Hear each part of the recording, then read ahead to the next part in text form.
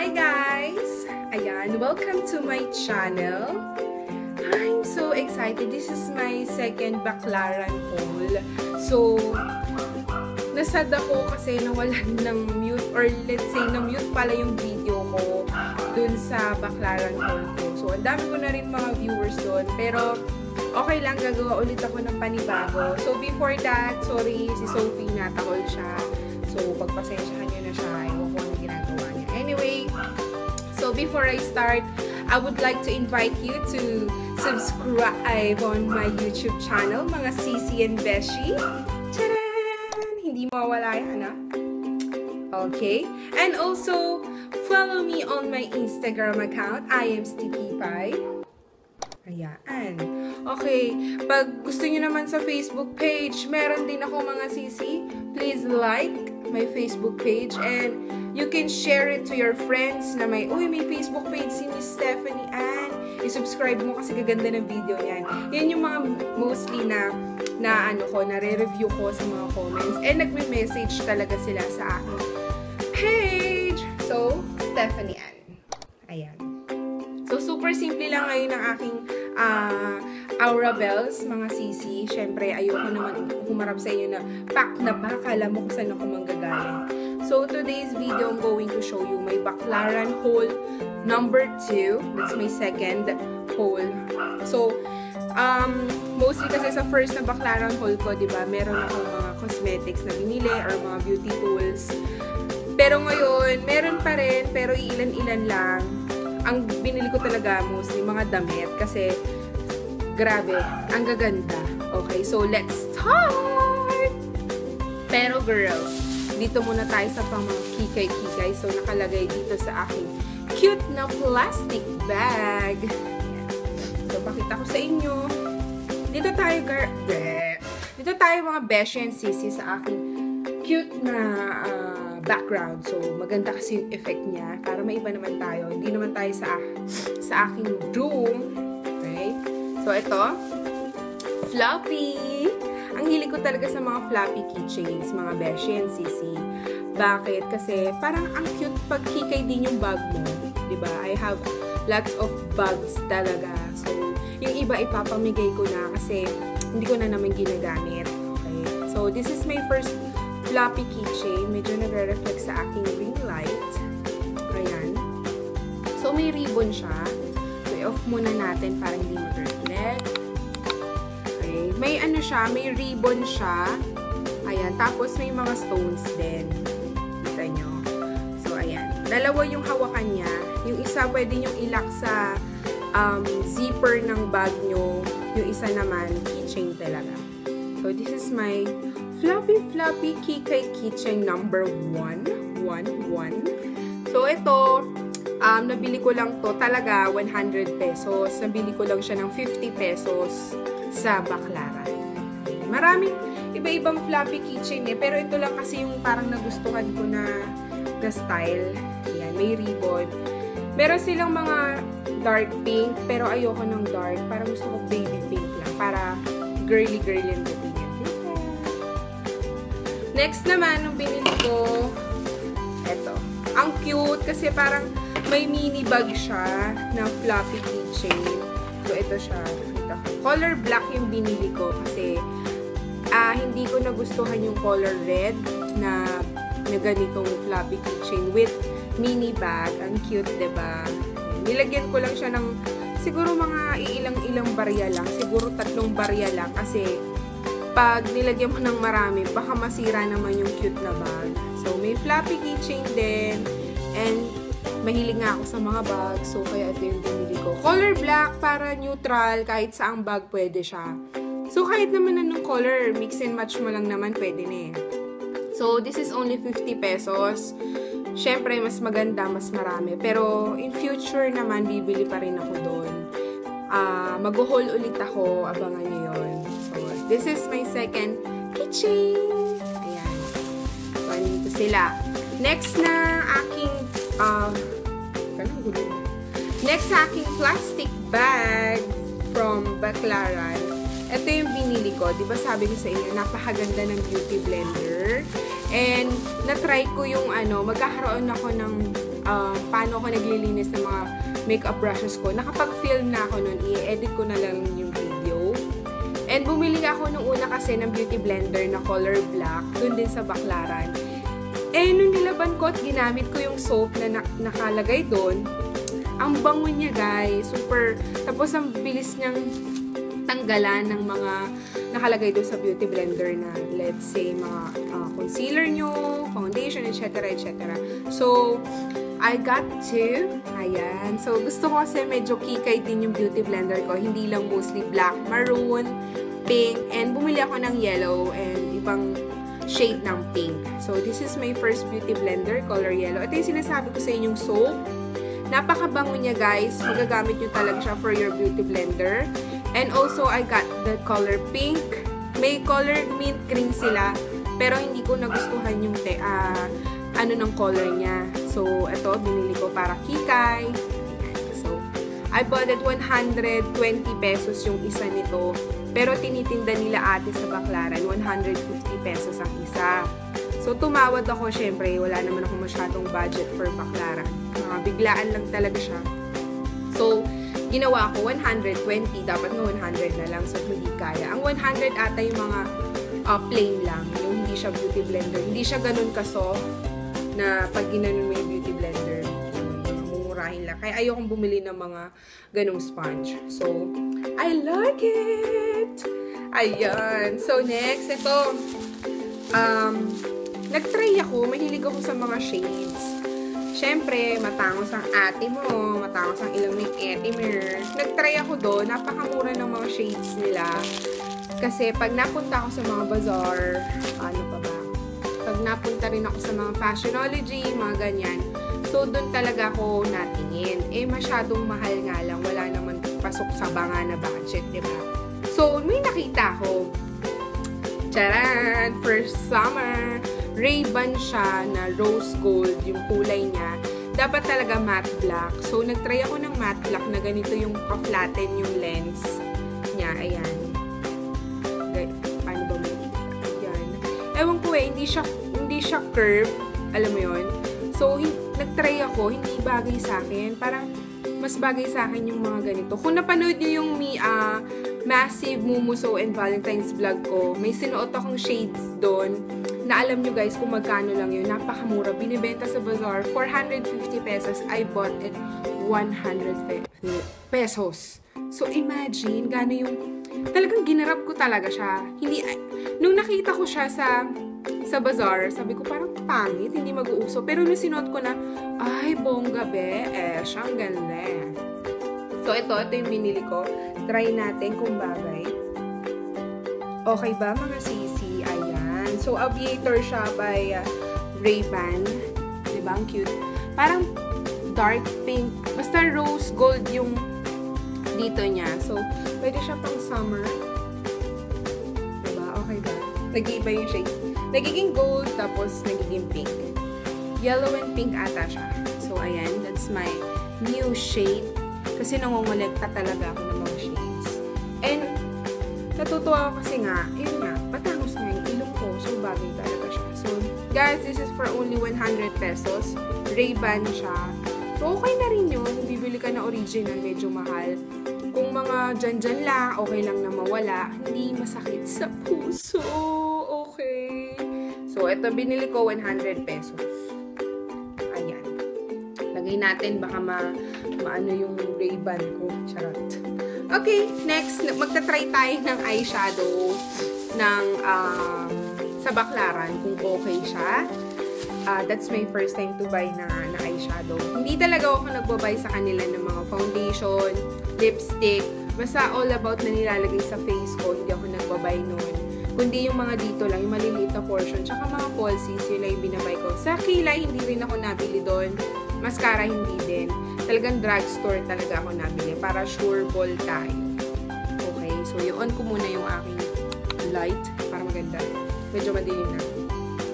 So, this is my Huda Beauty. Ayan. Ang ganda, diba? Kunwari ganyan na. Diba yun yung mga nakikita ko sa makeup tutorial? Hindi ko kamukha.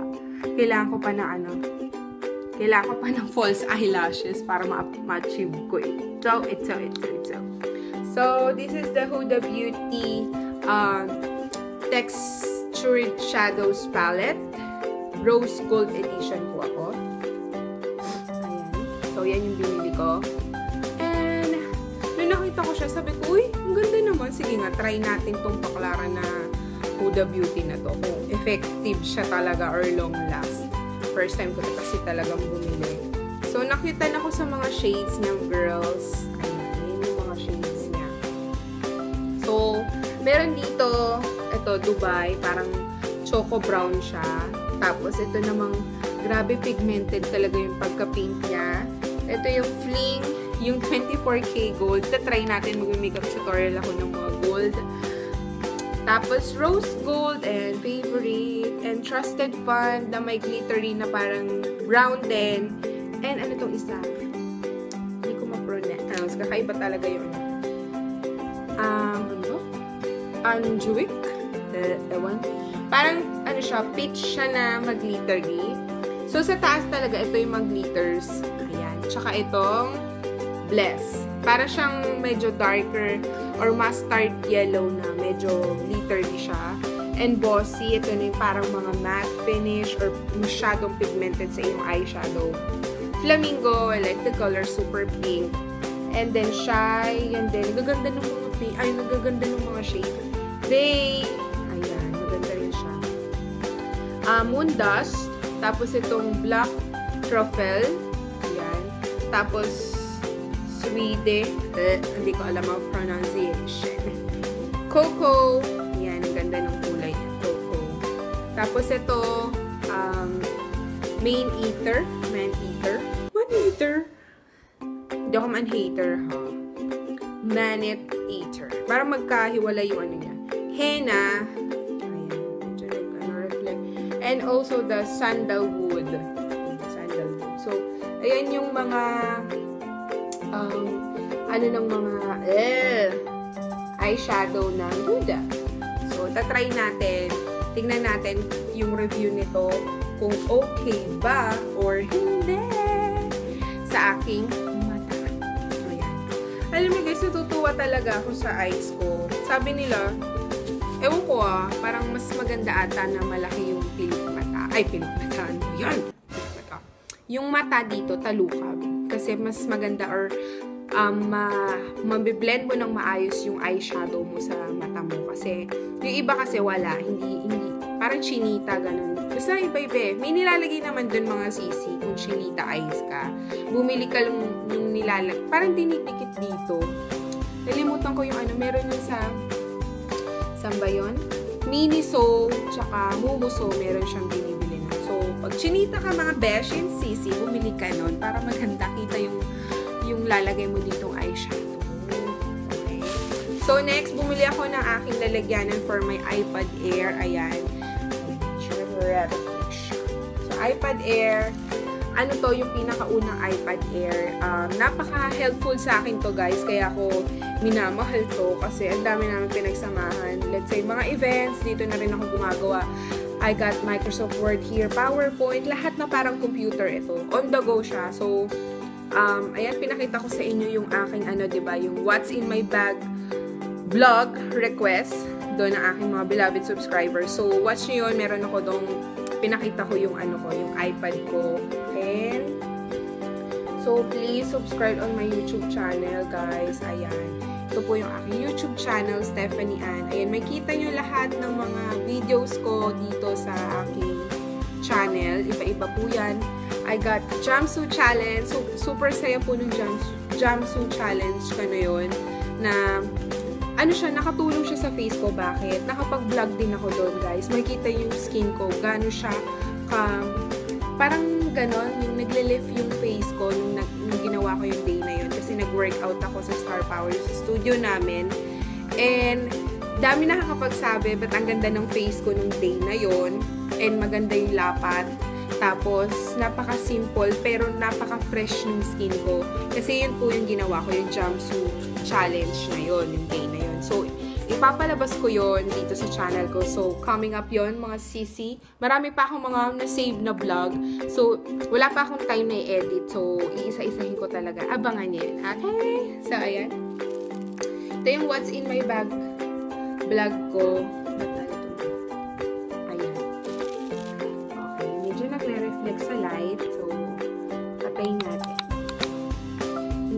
Din.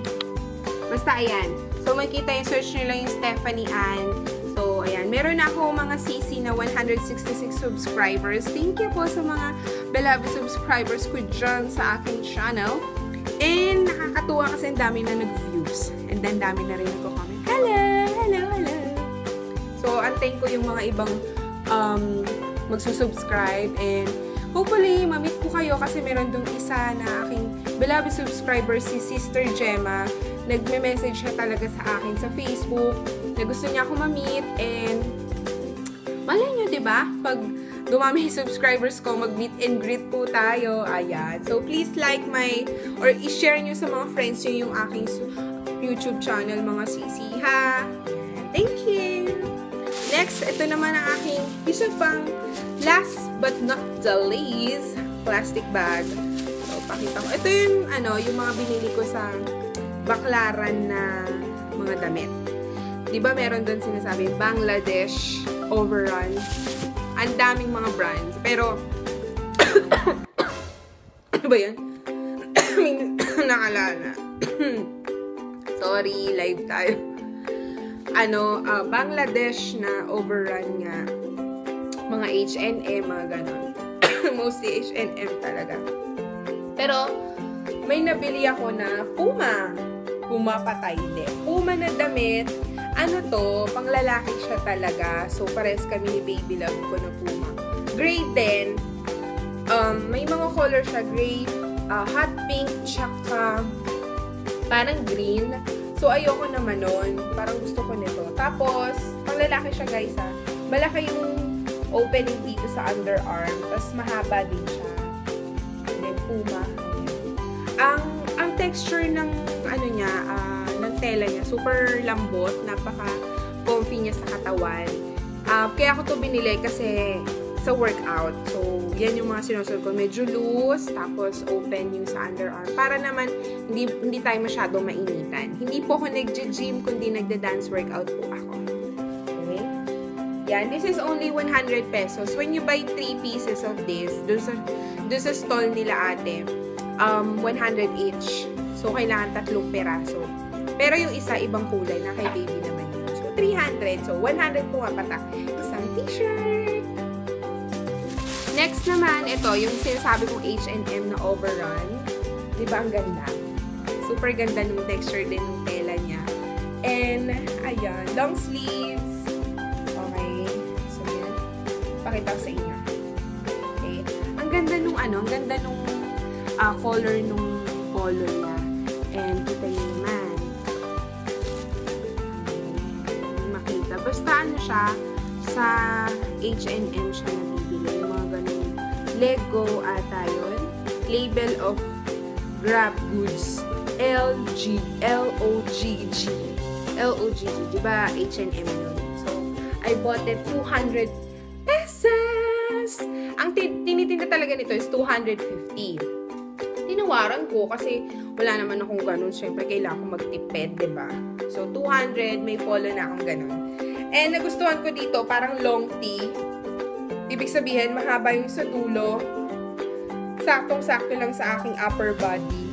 And pwede siya sa mga maong or naka-black ka or let's say naka-open to. Pag niinitan ka naman, nakasanto ka naman sa loob, pwede mo yung ilagay sa bewang. So, ang daming use nito guys. Only 200 pesos. And ito naman, H&M talaga to. Long sleeve again. Ewan ko ba ba't nangilig ko sa long sleeve. Super stretch. Okay. So, pakita ko sa inyo mga H&M ah. Ito. H&M. H&M.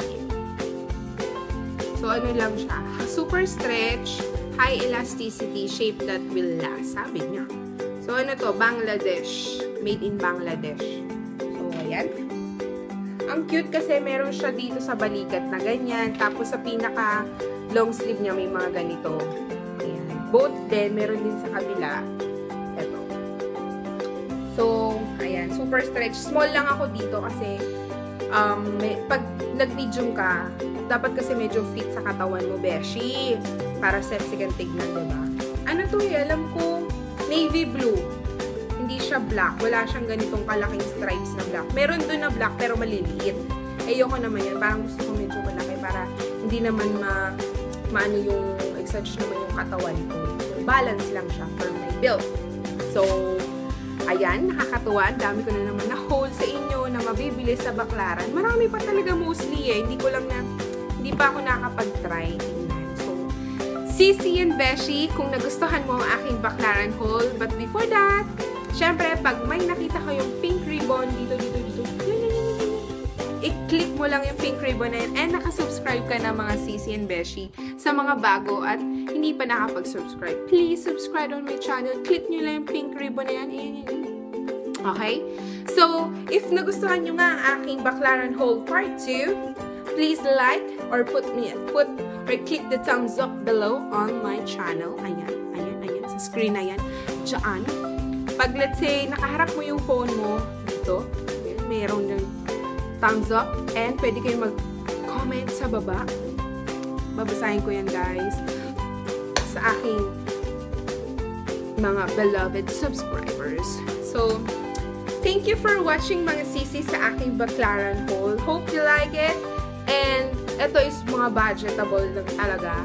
Siguro mga 1 plus or 1.5 lang yung budget ko for this. Nakabili na ako ng ganito kadami. And hopefully, um, matry ko lang nga yung, bleh, matry ko nga yung eyeshadow na binili ko from Baclaran. Kung okay ba siya or hindi.